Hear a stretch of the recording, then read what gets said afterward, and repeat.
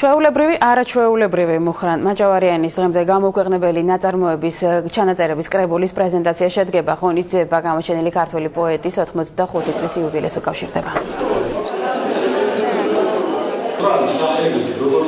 ბერმა ვიცით მისი ლექსები და გავიზარდენით ამ ლექსებზე, მაგრამ ჩვენ არ ვიცით მისი კიდე მეორე მხარე, რომელიც ჩანაწერებში გამოჩნდება, ასე რომ ძალიან ბევრი კითხვა წინა სიურპრიზის და დღესასწაულიც.